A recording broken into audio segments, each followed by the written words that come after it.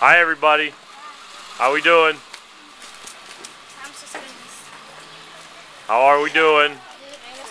Good morning. How are you? Here comes our first big bus in Monette. Hi Monette.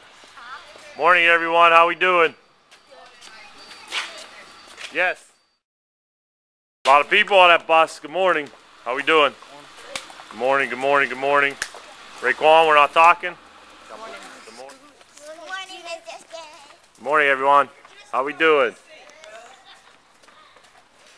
One of the things that makes Macs special is that at 7.30 in the morning, actually 7 o'clock in the morning, our breakfast program opens up. And kids come in from 7 on until 8.15 when our school day starts.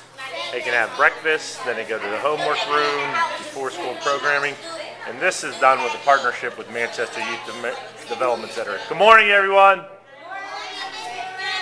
How we doing?